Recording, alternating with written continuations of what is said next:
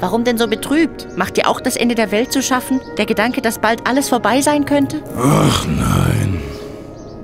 Darüber sollen sich mal lieber andere den Kopf zerbrechen. Soll das Ende ruhig kommen. Hier ist ohnehin schon alles erledigt.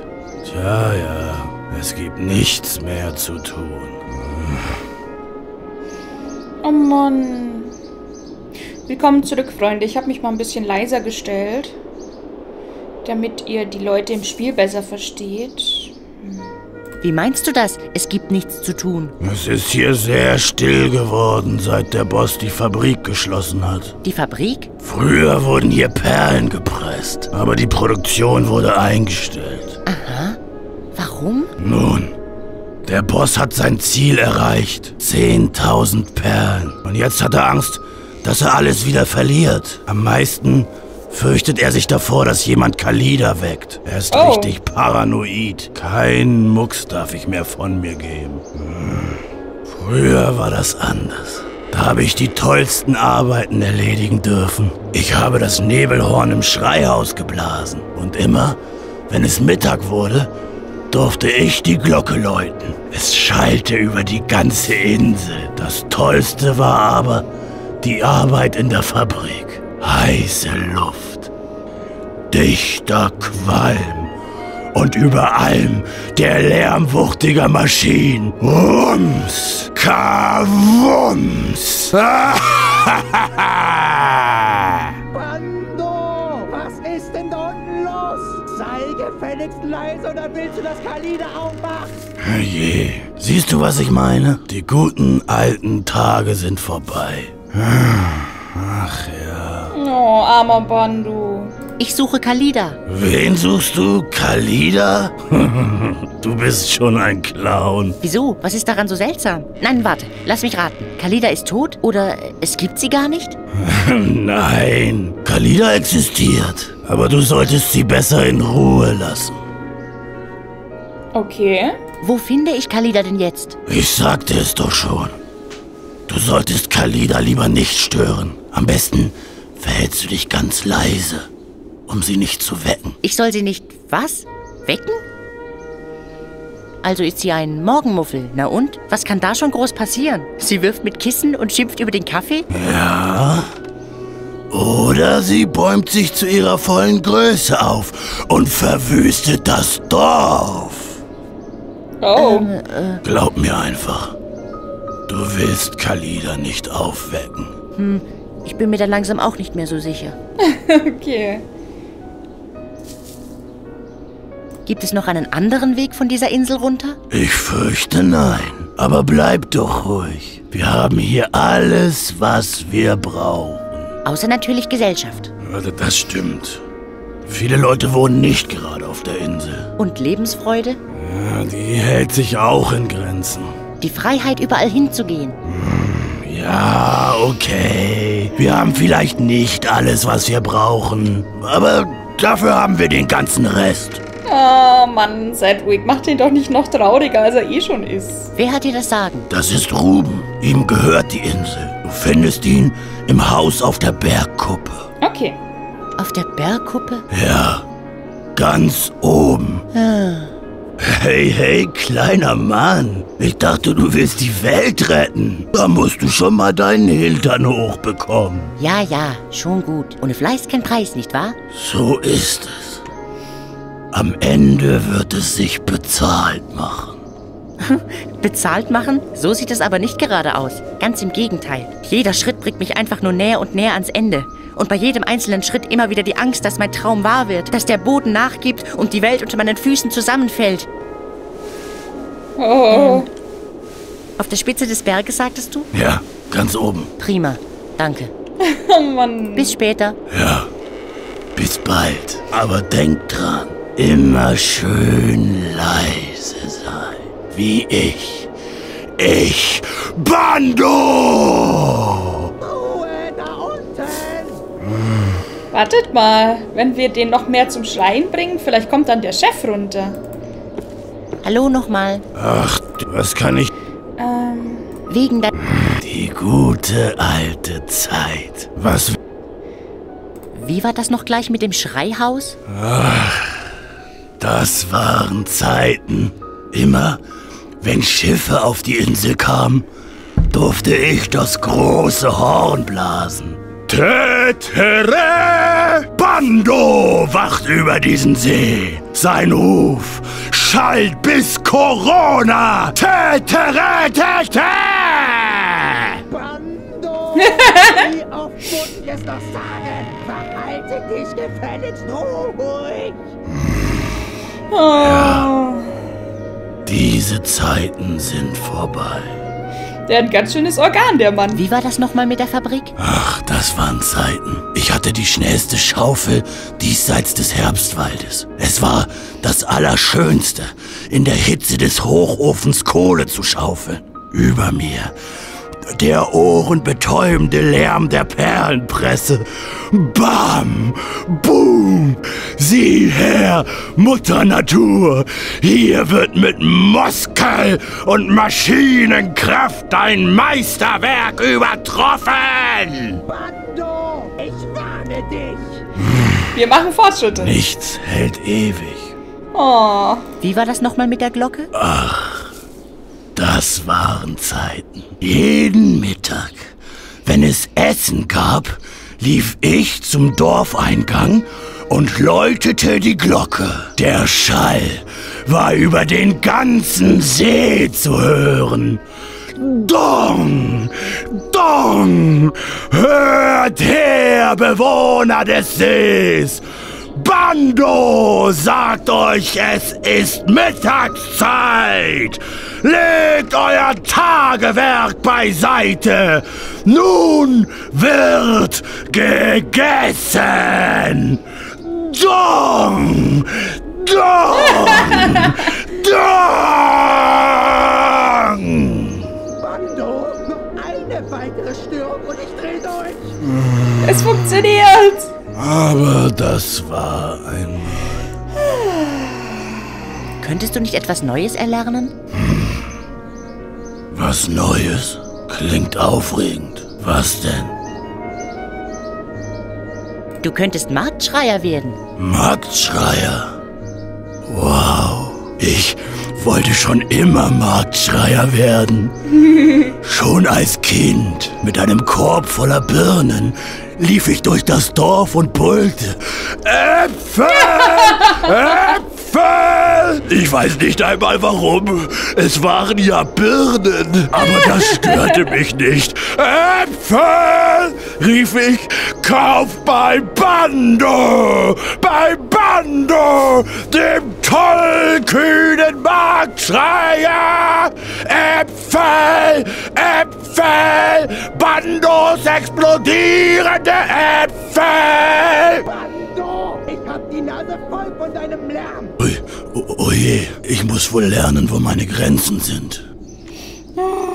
Du könntest Opern singen. Warum eigentlich nicht? Ich habe das Aussehen und ich habe das Talent. Die Frauen lägen mir zu Füßen und die Männer beneideten mich. Ein Glas nach dem nächsten würde ich zersingen. Wow, klirr. Operngläser, Wassergläser, ja, sogar die Kuppel des Firmaments würde ich einsingen. Bando! Muss ich denn immer erst wütend werden? Banause. Ähm, Du könntest einen Zirkus aufmachen. Ich weiß nicht so recht. Wenn ich mir deinen Fummel so ansehe, ich will mich ungern zum Gespött der Leute machen. Du müsstest ja nicht unbedingt Clown werden. Stimmt. Ich könnte auch in die Löwendressurnummer. Der Dompteur hätte es sicher nicht einfach mit mir.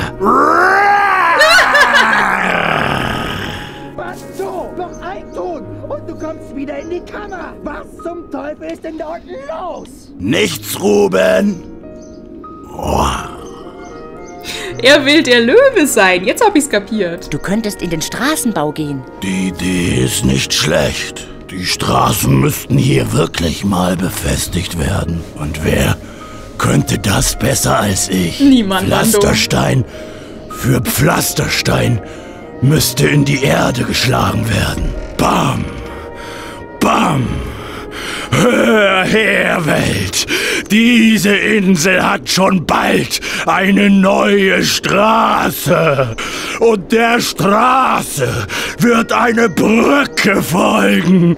Und nach der Brücke kommt ein Tunnel direkt nach Corona. Dann wird endlich wieder ein Straßenbaumeister das Land regieren. Ein Hoch auf Bando, den Straßenbaumeister. Hip, hip, hurra! Bando! Ich verliere allmählich die Geduld mit dir. Oh, oh, da ist wohl die Fantasie mit mir durchgegangen. Okay, Freunde, das ist unsere letzte Option. Du könntest Trommler werden. Trommler? Ich wäre bestimmt ein sehr guter Trommler. Ich könnte die Pauke in einem Orchester spielen. Alle würde ich übertönen und die Cellisten bekämen meinen Schlägel zu spüren. Das Publikum würde johlen. Bando! Ich höre sie schon rufen. Bando! Bando! Gib endlich Ruhe! Weißt du was? Ich glaube, ich lasse es lieber bleiben. Ich glaube nicht, dass Ruben damit einverstanden wäre. Mir gehen die Ideen aus. Halb so schlimm. Ich hatte die Hoffnung ohnehin schon aufgegeben. Ja, diesen Effekt habe ich manchmal auf die Leute. Ich muss Kalida finden. Die Welt geht sonst unter. Mach, was du denkst. Aber ich werde dir bestimmt nicht helfen. Ich will keinen Ärger. Und ich will auch nicht schuld sein, wenn großes Unglück über uns hereinbricht. Ähm, Moment mal. Das will ich auch nicht. Dann lass Kalida schlafen. Bis später. Ja, bis bald. Aber denk dran, immer schön leise sein. Wie ich. Ich, Bando! Ruhe da unten! Oh Mann, Bando. Halt, Freundchen. Der Schlüssel bleibt schön hier. Ruben hat mir aufgetragen, ihn gut zu verwahren. Und auf Bando ist Verlass. Okay, ich sehe, wo uns das Ganze hinführt. Was haben wir hier? Zahn. Oh, guck mal, was ist das für ein lustiges Tier? Oh, jetzt haben wir einen Zahn. Tür machen wir wieder mal zu. Weil da ist meistens irgendwas dahinter. Das Loch ist dunkel und leer, wie meine Zukunft. Oh. Sieh mal, Spot, hier ist eine Wohnung frei geworden. Dachtest du etwa, du könntest auf ewig bei mir wohnen? Hey, eine Leiter.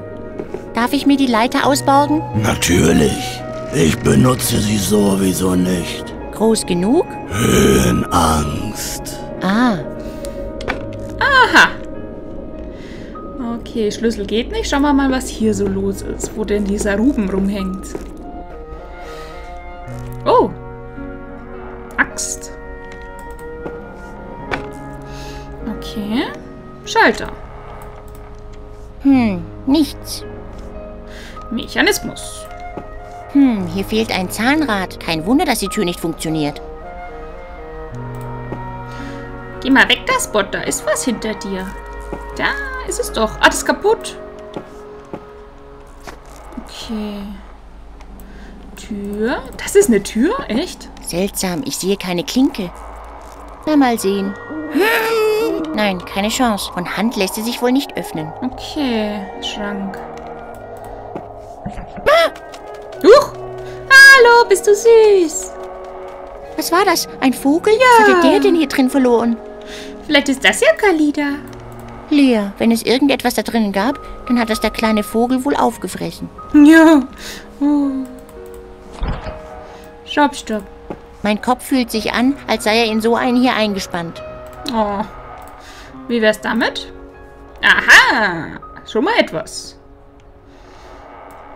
Mein Kopf fühlt sich... Nein, das Zahnrad ist kaputt und nutzlos, wie ich. Oh. Sadie, was ist nur los mit dir, kleiner Mann? Wer könnte denn da wohnen? Mauseloch, vielleicht wohnt da jetzt das Hühnchen drin. Das Loch ist dunkel und leer, wie meine Zukunft. Hm, nö, kein Hühnchen. Irgendwann wird auch die welken. Ich lasse sie besser, wo sie ist. Bei mir gehen Blumen immer sofort ein. Ben sagt, es liegt in meiner Ausstrahlung. oh je. Okay, also da hängt ein Schlüssel und da ist noch eine Blume. Was haben wir hier oben? Das untere Haus dürfen wir auch nicht vergessen.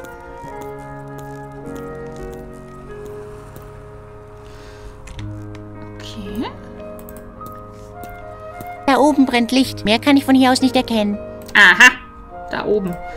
Eindeutig.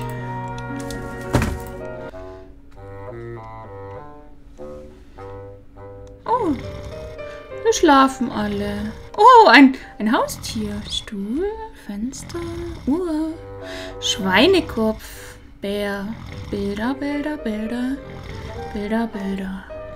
Schreibtisch. Ruben. Ach, das ist Ruben. Okay. Schau ich mal, ob wir vorbeischleichen können. Nee. Oh, oh. Was? Wo? Na, sag mal, was ist denn hier los? Was schleißt du hier rum, Bursche? Und wieso hat die Tür nicht geläutet? Ähm, aber das hat sie doch. Du hast nur so tief geschlafen. Ach ja. Glaub mal nicht, dass das noch einmal vorkommen wird. Ich hab meine Augen überall. Da hat offenbar jemand Bilder von der ganzen Insel gemalt. Die Unterschrift ist kaum zu erkennen, aber ich glaube, es heißt Marquis de Hull. Hm. Da hat offen die Unterschrift, aber ich Da hat offenbar die Unterschrift, aber ich glaube Da hat offenbar die Unterschrift, aber ich Hm, alles ist ähm, dasselbe. Das sieht auch nicht furchtbarer aus als mein Leben. Ich habe mal gehört, dass sich die Welt vom Schreibtisch aus nicht retten lässt. Aber wenigstens kann man sie von da aus auch nicht ins ewige Verderben stürzen. Das stimmt. Die Gelehrten nennen unsere Welt Silence. Ich nenne sie Hort der Sinnlosigkeit. Oh. Fass meine wertvolle Einrichtung nicht an. Das sind alles Sammlerstücke. Man sagt, Hunde, die bellen, beißen nicht. Aber diese hier bellt ja auch gar nicht. Dieser Stuhl steht hier offenbar nur zur Zierde. Das und um Besucher zu verspotten, die gezwungen sind zu stehen. Mal gucken, wie spät es ist. Ah, wie ich's mir dachte. Es ist wahrscheinlich schon zu spät. Er hat eine gewisse Ähnlichkeit mit Ben. Vor allem hat er einen Ring in der Nase. Heißt das was?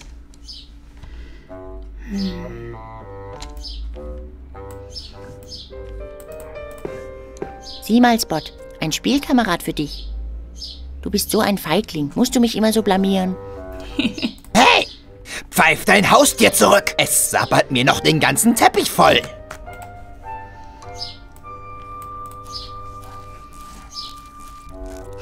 Also, irgendwie hat Bando was damit zu tun, dass wir hier durchkommen. So viel ist schon mal klar. Ich bin Sedwick.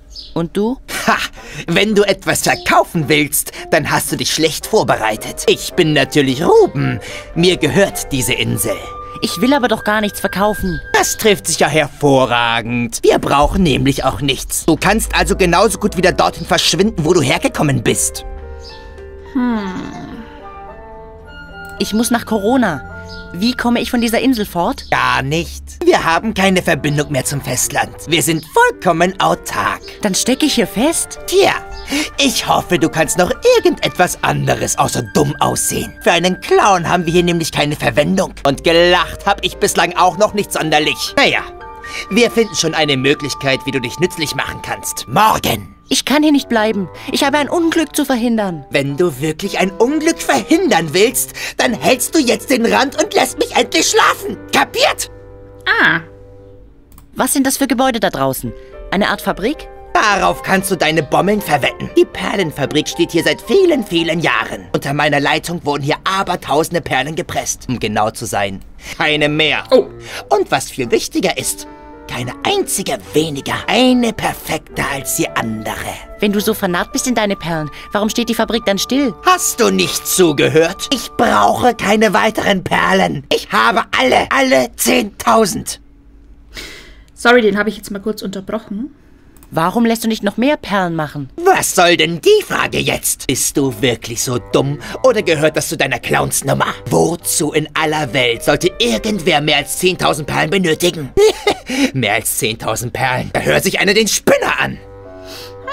Kann ich mich mal oben umsehen? Was willst du? Bist du noch bei Trost? Halt deine Nase aus meinen Privaträumen raus, du Clown. Ich bin ein umgänglicher Mann. Aber wenn du dich über mein Eigentum hermachst, dann lass ich dich von der höchsten Klippe schmeißen. Und das ist mein voller Ernst.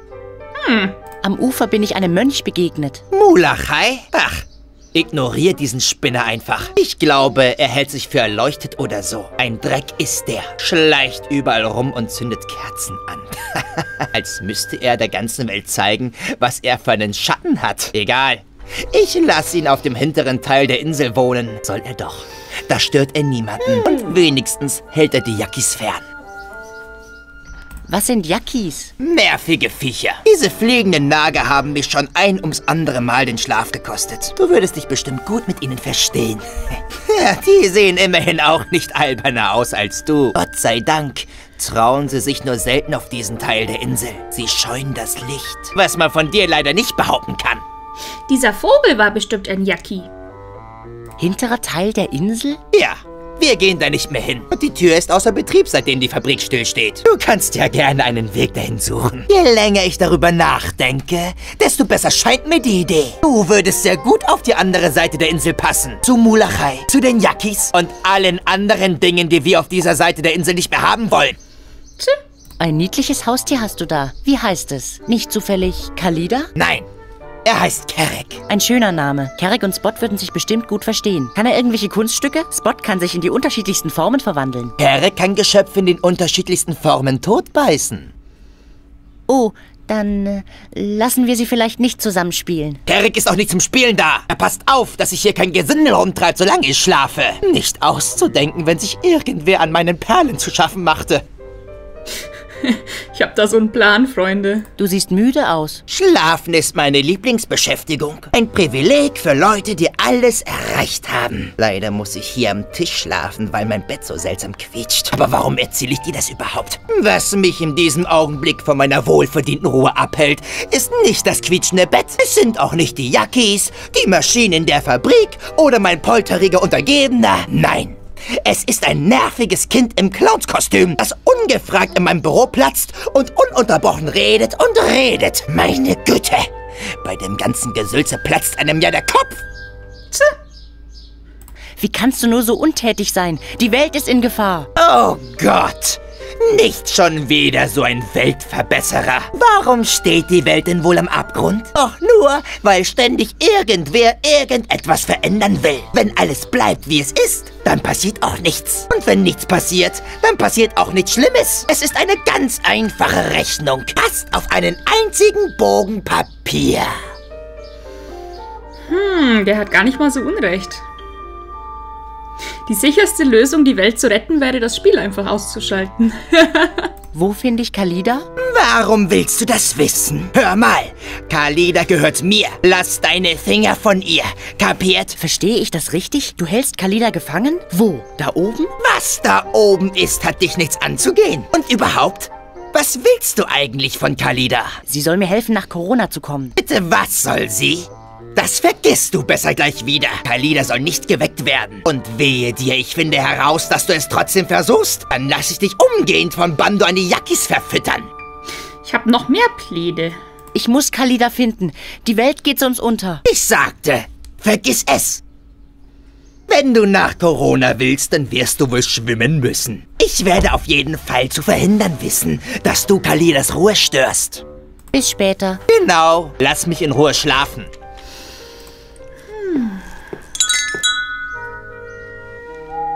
Oh, was ist denn hier drüben? Auch cool, aber da kommen wir gar nicht hin. Aha, Bando macht Lärm, der regt sich auf. Hm, dann ist das hier wahrscheinlich die Fabrik. Sieht zumindest aus wie eine Fabrik.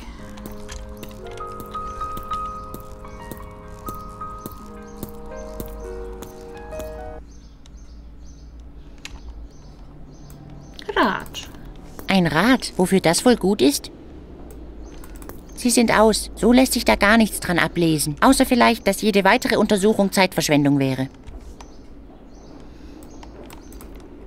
Sie sind aus. So lässt sich da gar außer... Oh, ein Feuerstein. Gut. Ich meine, wir haben zwar Spot, um Sachen anzuzünden, aber in Ordnung. Hm, da waren wir jetzt... War jetzt hier Bando? Nee, Bando war eins drüber. Hm, verschlossen. Ah, dafür ist der Schlüssel dann da. So, ein Feuerstein, eine Axt, ein Haken und eine kaputte Schaufel. Ähm, wartet mal, die Axt vielleicht für das Seil? Dann könnten wir die Glocke läuten. Weil da fehlt ja das Glockenseil. Nur wie kriegen wir das überhaupt da hoch?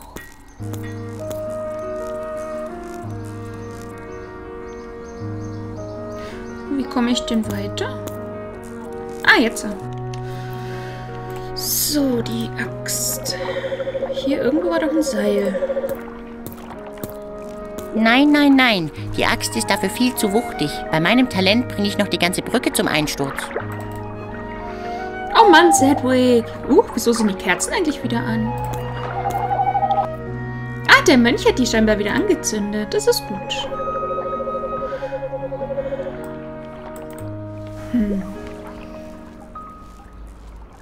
Hier steht etwas eingraviert. Halida hat Ohren im Wasser. Aha. Hm, Bando. Bando ist, glaube ich, jetzt des Rätsels Lösung. Denn wenn wir ganz viel Krach macht, dann nervt es den Chef.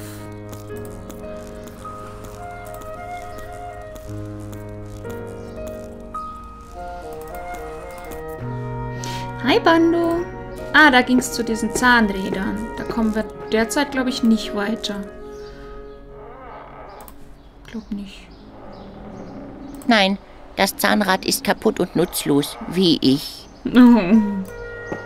Bando.